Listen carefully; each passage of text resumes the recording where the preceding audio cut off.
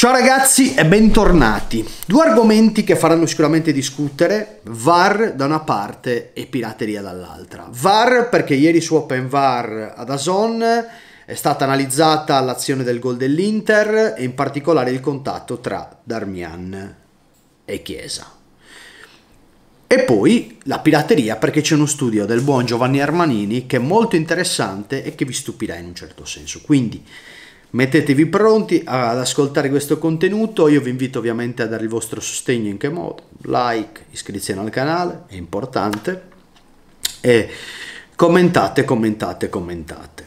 Partiamo dalla situazione VAR. Ieri OpenVAR è stato dato questo servizio legato a questo episodio qua che ha fatto parecchio discutere fallo o non fallo. Cioè io vi dico la mia opinione, eh, francamente. Cioè se l'arbitro avesse fischiato in presa diretta quel fallo eh, probabilmente non saremmo qui a parlare di un gol dell'Inter, eccetera, successivo a quell'azione stessa. Però ci poteva stare come fischio, no? E il punto è, il VAR può intervenire per annullare quel gol con quell'intervento, quando poi la palla è stata giocata all'indietro col portiere e poi l'azione ripartita. Secondo Dennis, di errori arbitrali, questa cosa qua non può essere controllata dal VAR. Il VAR effettivamente torna indietro dice non c'è contatto col viso e questo è reale, è una cosa reale, e per cui va avanti e il gol viene alla fine convalidato.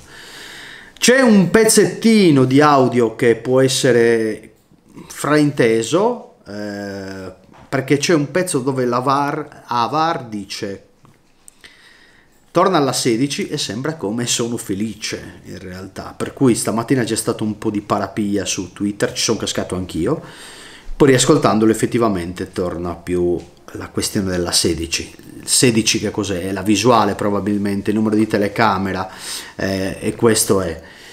Però inizialmente sembrava una voce quasi fuori contesto da tutto il resto, perché c'era una voce che spiegava l'azione, andava avanti, chiedeva certe inquadrature e poi la VAR invece che fa un'altra cosa, sembrava invece un audio estrapolato da, da un contesto in cui lui non doveva parlare, per cui c'è un po' di casino anche là, non sono chiarissimi anche gli audio, fraintendibili anche da questo punto di vista. Se poi ci aggiungiamo un pizzico di malafede che ognuno ha, il rischio poi di arrivare ad affrettate conclusioni. Ci sono cascato anch'io, ma a quanto pare torna alla 16, ok, ci tenevo insomma a sottolinearlo.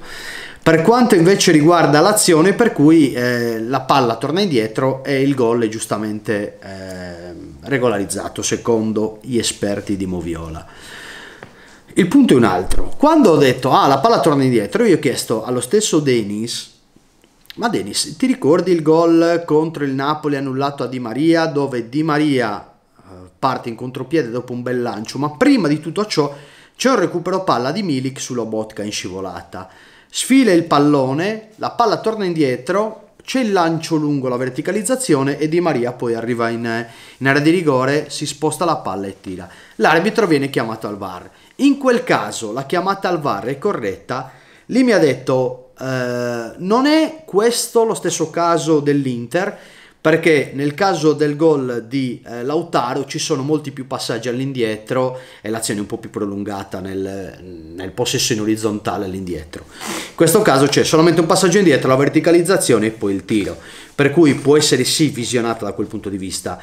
Il punto è che quell'episodio in particolare, vedete quanto è complesso anche eh, il protocollo VAR in quell'episodio in particolare, secondo Denis, non c'è un chiaro ed evidente errore. Quindi, secondo lui, l'arbitro non andava chiamato al VAR perché lì non c'è chiaro ed evidente errore. C'è un arbitro che guarda quel contatto, che dice di andare avanti perché viene conquistata la palla e quindi il gol doveva essere convalidato senza la chiamata eh, da parte del VAR e l'on-field review successiva. Questa è, è il gra- questo è il gran casino che è successo ieri, ragazzi, nella puntata VAR. E questo è anche mh, per spiegarvi quanto sia complesso, quanto due episodi più o meno simili portino a delle differenze nell'applicazione del VAR stesso delle chiamate. Fatto sta che noi anche in quell'occasione abbiamo avuto un errore eh, contro, nel senso che quello era il gol di Di Maria. Però al di là di questo il VAR chiama, dal momento in cui il VAR chiama il contatto effettivamente tra Milik e Lobotka c'è, è un contatto a limite, non è un chiaro ed evidente errore, però è un contatto a limite che se valutato dall'arbitro in presa diretta, insomma, e ti giudica fallo non puoi dire cavolo, ci sta. Ma dal momento in cui dice che è tutto buono, il VAR non può andare a chiamare l'arbitro per quell'episodio là. È là che sta l'errore. Però una volta che ti chiamano al VAR è normale che vai a fischiare quel, quel, quel contatto là. Dettagli. Detto ciò, adesso parliamo della pirateria, perché c'è lo spot della Serie A che la, pila- la pirateria uccide il calcio, ma è effettivamente così? C'è uno studio di eh, alcune agenzie che si occupano insomma della pirateria a livello europeo, Sina Media e Ampere, dove fotografano molto bene la situazione. In questo momento c'è eh, la pirateria ha delle sue caratteristiche. La prima è prevalentemente calcistica e la seconda invece è più orientata al cinema, alle tv, ai servizi di streaming, eccetera. Questo perché? Perché non c'è una voglia effettivamente di danneggiare o di fare dei reati, c'è una è un modo alternativo e più economico per usufruire di questa passione. In Italia il danno certificato dalla pirateria è di 688 milioni di dollari per quanto riguarda lo sport, che è una bella fetta. Però se andiamo a guardare gli altri paesi, perché pensiamo che in Italia siamo gli unici ad avere il pezzotto e non è così, ve lo posso garantire, Belgio, Olanda, Francia, Germania, Inghilterra, cioè sono tanti paesi che utilizzano i servizi alternativi e illegali, ma basti pensare alla Germania, per esempio, o l'Inghilterra si avvicina al doppio rispetto del, del danno della pirateria nei confronti del calcio. In Inghilterra il fenomeno è di 1,1 miliardi di dollari e in Germania 1,3 miliardi di dollari, per cui in Germania sono più pezzottari di noi, cioè stiamo sempre qui a dire ah l'Italia ha fatto la legge, ha trovato l'inganno, siamo i soliti furbacchioni, ma in realtà il danno economico del pezzotto eh, o delle alternative di pirateria negli altri paesi è superiore all'Italia. L'Italia è uno delle insomma dei, dei paesi che sì, c'è il fenomeno, c'è, evidente, però il danno non è superiore agli altri, uh, insomma, agli altri, agli altri paesi. Questo perché? Perché nella narrazione della Lega Calcio pare che l'Italia sia fortemente danneggiata da questo fenomeno, che questo fenomeno sta lentamente usurpando vitalità allo sport calcio e non è così. In realtà è una... Ve la posso dire una roba, secondo me con tutti i problemi che ha il calcio italiano è la via più semplice per scaricare tutto ciò che non va ad una cosa illegale che è fuori dal controllo di chi deve gestire e organizzare. Questo è. Poi vabbè, il tema comunque della pirateria è abbastanza complesso, ecco. Eh, c'è anche da dire che un aspetto rafforzato dalla poca voglia anche di eh, andare contro le norme clienti, il 57% di chi è il pezzotto già paga per avere altri servizi simili a pagamento, per cui capite bene che eh, è una questione legata più alla passione, alla una questione economica. C'è anche da dire che c'è uno studio che il 74% di chi usa il pezzotto dice, sapete che c'è, a un prezzo giusto pagherei il prezzo normale, per cui trova quella gente là il prezzo del servizio abbastanza esagerato. La maggior parte della gente sono under 35, di chi è il pezzotto, chi ha famiglia, eccetera, per cui è veramente una questione di eh, prezzi fuori mercato.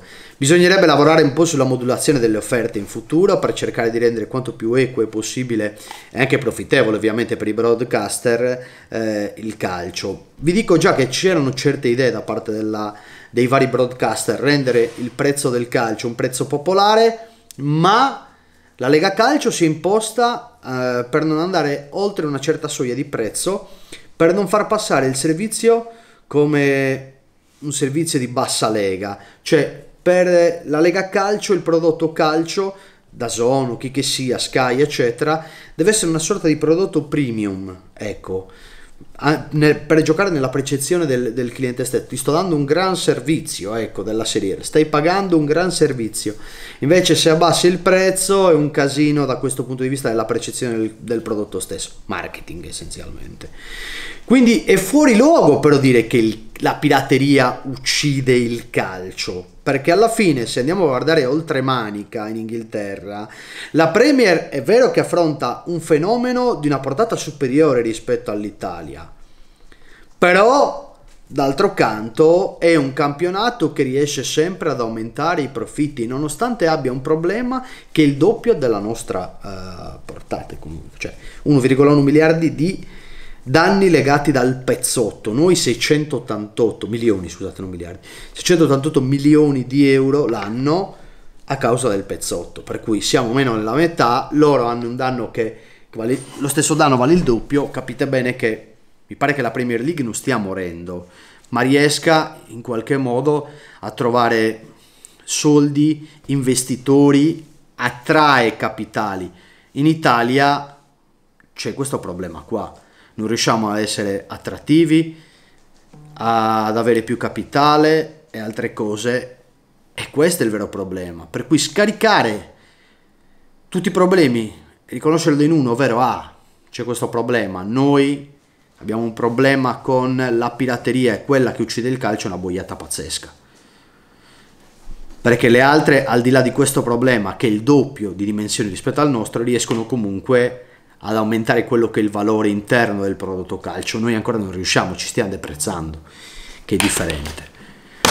Signori, questo è tutto. Io vi lascio comunque eh, il link all'articolo di Joe date un'occhiata e niente, ci vediamo sicuramente domani con nuovi contenuti. Un abbraccio a voi e sempre fino alla fine. Forza Juve!